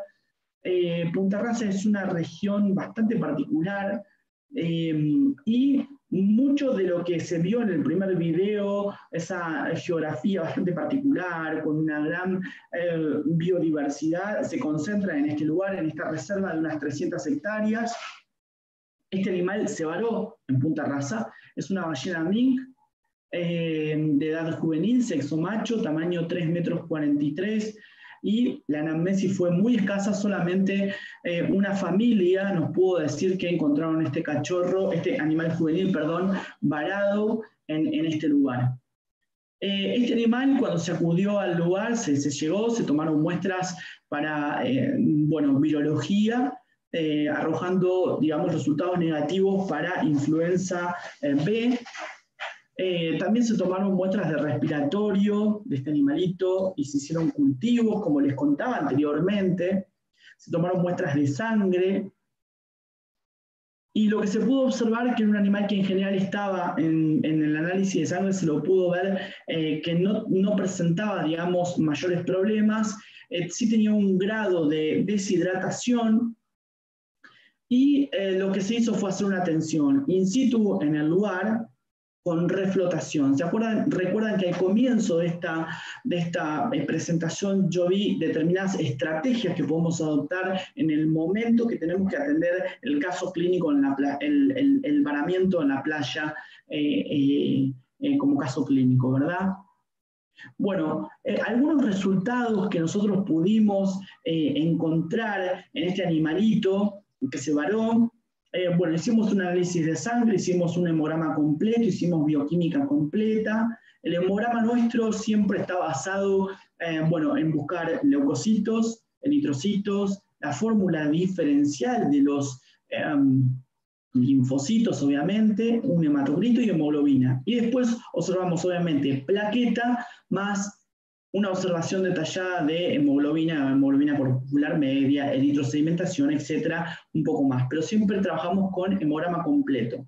Y bioquímica completa, nosotros ya tenemos una rutina de trabajo donde observamos creatinina, ácido úrico, uria, glucosa, em, observamos generalmente, estamos haciendo observación de algunos tipos de enzimas, como por ejemplo LDH, bueno, también observamos fosfatasa alcalina, GOT, GPT, bueno, una serie de enzimas relacionadas al riñón, relacionadas al hígado, relacionadas a distintos órganos del animal. Lo tenemos como una rutina de trabajo, lo tenemos ya internalizado dentro de nuestros protocolos. Eh, eso se lo podemos pasar por correo electrónico para que ustedes sepan cuáles son los análisis bioquímicos que hacemos en estos animalitos. Las muestras del aparato respiratorio fueron plata, fueron, dieron positivo al desarrollo de cocos gram positivos, a estafilococos. Las muestras de respiro en la citología pudimos ver glóbulos rojos, glóbulos blancos, células epiteliales, células basales. Observen ustedes acá bueno, una observación sobre la, citología respiratoria de este animalito, tiene incrementado esas células epiteliales que analizamos y estuvimos viendo, se estaba aumentado el número de estas células, estaban aumentada la cantidad de células eh, de linfocitos, de células blancas en, la muestra de citología. Las pudimos cuantificar y daban por encima de, de 10, por campo. Esto es importante tener en cuenta porque nos marca algún problema, posible problema respiratorio, nos orienta en algún tipo de problema respiratorio. Y eh, células basales. También hicimos eh, una toma de muestra a través de o, a partir de una sonda anal. El cultivo dio positivo al desarrollo de eh, cocos gram positivos. Pudimos detectar Echerichia coli, Em, y también hicimos análisis virológico del gen P para morbilvirus y también gen NP para influenza A y B con resultados negativos.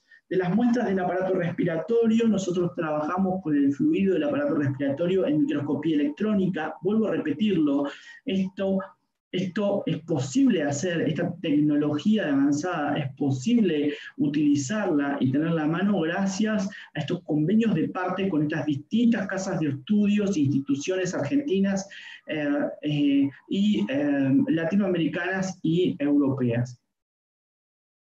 Bueno, acá tienen el caso clínico número 2, no sé si pueden ver escuchar el sonido, pero bueno, esta es la familia que encuentra la ballena en Punta Raza Varada. Fíjense lo que hicimos, posicionamos el animal en decúbito ventral. Se colocó una lona por ventral.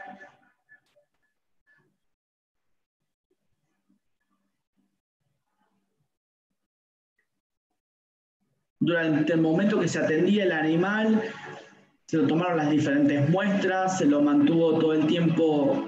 Fíjense cómo se humedece el animal, se cuida las aletas dorsal y la aleta pectoral y la aleta eh, caudal, de mantenerlas todo el tiempo húmedas para que el animal pueda termorregular. Se lo acompaña en el proceso de reflotación y a más o menos unos 100 metros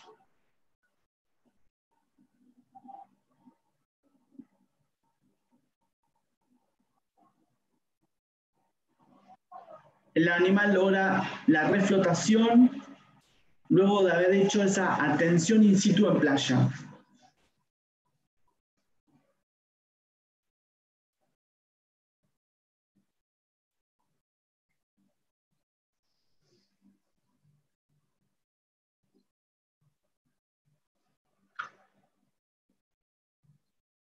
Bueno, esto es un trabajo eh, bastante interesante que se logró hacer.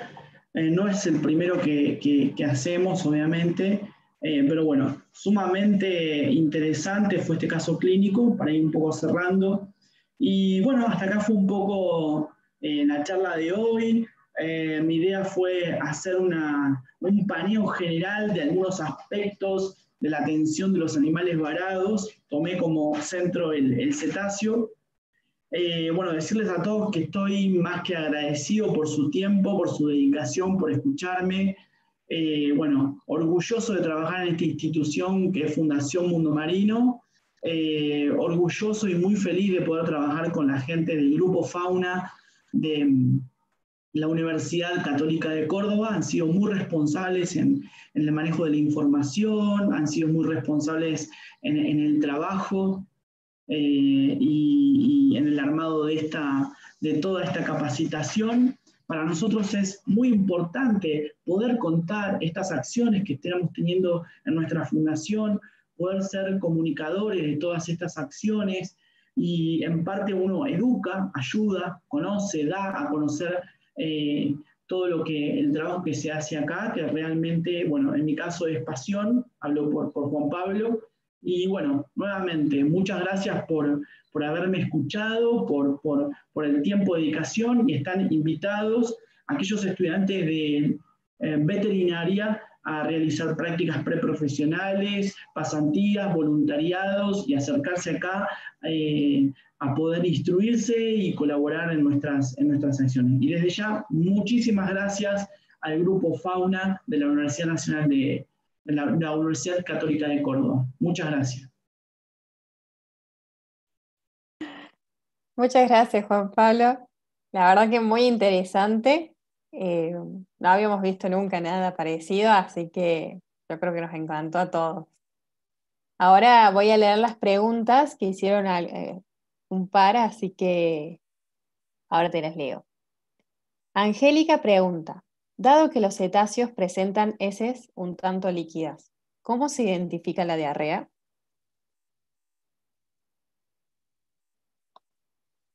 vamos. Sí, bueno, eh, es bastante difícil, eh, está buena la pregunta, está muy buena. Eh, sí, es bastante difícil em, poder observar la, hacer la identificación de diarrea en cetáceos. En general, los cetáceos tienen una característica líquida en su materia fecal. Lo que más observamos es los cambios de coloración el olor y también eh, hay un grado para todos aquellos que trabajamos con ellos de lo que para nosotros es normal, de lo que es diarrea. Es mucho más líquido y generalmente se empieza a ver algunas cosas como por ejemplo materia fecal flotando. Eh, esto es más o menos la observación que nosotros hacemos. Buenísimo. Y otra pregunta, ¿Cómo miden el reflejo del espiráculo? Bueno, el reflejo del espiráculo, para ver si, si tienen las ganas de respirar, por decirlo así, generalmente lo que se hace son frotaciones o estímulos sobre la zona, digamos, eh, para que se, se, estimule y el animal quiera respirar. Eso es más o menos lo que hacemos para ver si el reflejo del espiráculo está, está activo o no. En general es eso. No siempre estimular la zona del espiráculo nos va a dar un reflejo automático de que respira, no siempre. Eh, no lo tenemos como un reflejo a evaluar, pero sí siempre tocamos la zona del, del espiráculo. Después, Rossini pregunta, ¿dónde consideras que es el mejor lugar para hacer la necropsia? ¿En la fosa o en el lugar mismo? ¿Y cómo limpian la playa luego de haber realizado la necropsia? Esa pregunta es un tema de debate en cualquier workshop de trabajo de cetáceos eh, varados y rehabilitación. Bueno, acá hay todo un tema de legislación. El animal cuando se vara, eh, generalmente es muy difícil, es muy difícil poder elegir el lugar donde hacer la necropsia. Imagínense que una ballena mink estamos hablando que son 7 metros de largo y estamos hablando de 8.000 kilos. Para mover el animal, para hacer la necropsia, es bastante difícil. Necesitamos una maquinaria que nos permita y nos ayude a mover el animal y trasladarlo. Nosotros, en general, lo que hacemos es hacer la necropsia en el lugar donde queda varado el animal cuando el agua se retira o pedimos que la municipalidad a través de estas máquinas corra el animal cerca de una fosa que construye.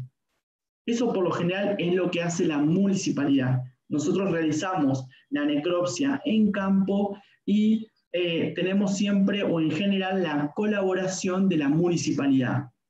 Esto para los animales que se varan y mueren en playa y nosotros tenemos que hacer la necropsia. ¿Qué es lo que sucede?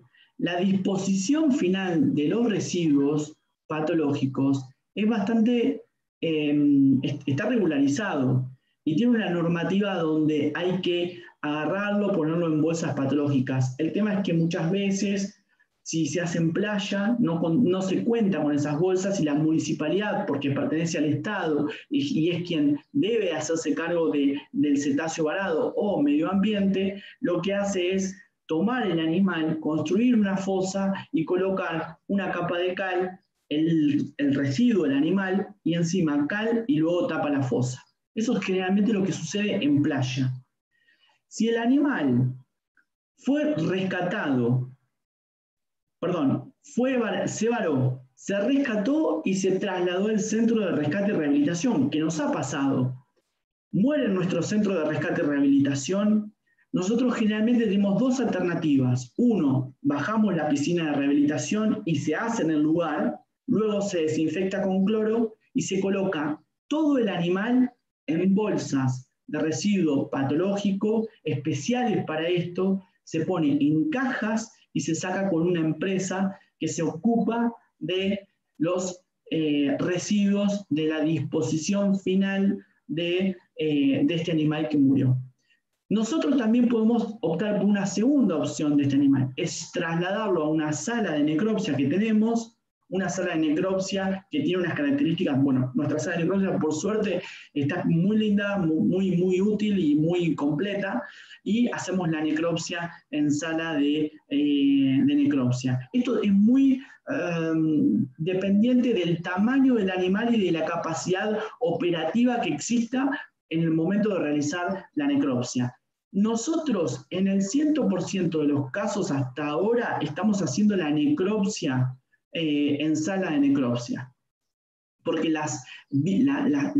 el manejo de la bioseguridad es mucho mejor y más fácil y es el correcto, el que corresponde. Eh, hay situaciones sí, donde ha pasado hace muchos años que el animal es tan grande que no se podía trasladar a la sala de necropsia porque la sala de necropsia es chica, pasó con un animal. Entonces suele pasar esto que el animal es tan grande que no entra a la sala de necropsia. Entonces se, se toma la decisión de hacerse en la, piscina donde se estaba haciendo la rehabilitación. Es muy similar a lo que sucede en algunos campos que no tienen sala de necropsia y realizan la necropsia de, la vaca o del caballo en el campo, ¿no? Claro. Em, y piden si se puede enviar protocolos que utilizan em, para poder eh, tenerlos presentes por si llega a pasar algo, digamos, si trabajan en estas situaciones. Em, sí, no hay ningún tipo de problema. Eh, se puede enviar protocolos. Si quieren, pueden copiar el correo electrónico juanpelourero.com y por correo electrónico podemos enviar algunos tipos de, protocolo. Eh, eso no, hay ningún tipo de problema. Se puede enviar protocolos. Estos protocolos pueden ser eh, compartidos. Hay algunos que no están publicados. Eh, hay otros que tenemos publicados y hay otros que estamos en proceso de publicar. Entonces, vamos a hacer un mix de, lo que tenemos para, ofrecer sin ningún tipo de problema. Buenísimo. Em, y la última pregunta, ¿les dan alguna medicación a los animales varados que llegan a la playa antes de soltarlos nuevamente? Eh, se evalúa siempre el, caso. Eh, hay muchas cosas que se pueden hacer. Eh, no sé si son muchas, muchas cosas, pero bueno, se pueden hacer varias cosas, dirían, o muchas. Se puede dar, a veces hay un, el animal, tendríamos que, para contar un poco y, explicar por qué cada medicación, hay que hablar de algunas cuestiones fisiológicas que suceden en el cetáceo varado. Eh, los cetáceos en el momento que se varan eh, sufren de un síndrome de varamiento que tiene varias características y hay una serie de procesos fisiológicos que implican una charla específica para eso, que suceden en ese momento y el animal eh, se lo atiende, se lo atiende en ese momento, se lo asiste en ese momento Mm, y, bueno, y en base a este síndrome de varamiento, que lo, lo puedes ir evaluando en el momento que está varado el animal, se puede ir dando o se puede dar algún, alguna determinada medicación. Eh, se puede utilizar corticoides, se puede usar dexametasona, eh, prednisolona, inyectable. Eh, hay algunos protocolos de trabajo que recomiendan automáticamente implementación de antibiótico-terapia con antibióticos de amplio espectro, como el grupo de las quinolonas. suelen muchos mm, cetáceos que se van a presentar un cuadro de deshidratación entonces se puede hidratar el animal. La hidratación del animal se puede hacer in situ en el lugar. Hemos hecho hidrataciones en el lugar eh, con litros de agua y hemos colocado sales de rehidratación. Creo que hay unas que llaman pedialite, generalmente ese tipo de sales de rehidratación que le permiten al animal reconstituir su medio interno. Eh, también se lo puede, eh, digamos, medicar algunos autores describen dar antiparasitarios. Yo creo que en el momento que se hace atención in situ no es lo, importante el, antiparasitario. Eh, sí en los animales que vagan y entran en un proceso de rehabilitación en el centro de rescate y rehabilitación. Sí creo que ahí es importante eh, tener en cuenta un protocolo antiparasitario. Yo siempre lo describo, cada maestrito con su librito, acá pero para el caso me voy a otra especie de mamífero marino que son los, los pinípedos. Eh, yo he estado en instituciones que los protocolos para desparasitar son la dosis más alta del eh, antiparasitario, inclusive el duplican, el doble de eh, la, la dosis antiparasitaria. Eh, y hay otros, eh, otros eh, profesionales que eligen otros métodos antiparasitarios, otra forma de parasitar a las especies. Pero en general es lo más común, es lo, que, lo, lo más frecuente es lo que acabo de nombrar yo. Y tenían una última duda que era para postular una pasantía, si se comunicaban por mail o por dónde. la comunicación para pasantías, voluntariados y prácticas preprofesionales. Eh, es a través del correo electrónico que se encuentra ahí, se comunican conmigo sin ningún tipo de problema. Es importante que siempre la persona que venga tenga algún, eh, alguna institución que pueda vincularse directamente con eh, Fundación Mundo Marino. si no tiene una vinculación hay que generarla, es importante que se genere el vínculo entre las instituciones y con mucho gusto eh, los podemos recibir eh, para realizar las, las eh, pasantías, voluntariados y prácticas preprofesionales de cada universidad, facultad o a veces personas que, que se reciben y quieren aprender. Sí es importante saber, son, por el momento son sin costo. lo único que la vacante es bastante limitada, está bastante limitada a lo largo del año, tenemos poca capacidad, no es por una cuestión de, nada, de, mala intención, sino es una cuestión de poder ofrecerle lo mejor que de, nuestra parte para que puedan aprender. Y bueno, eso implica una, gran dedicación, ¿no? Buenísimo.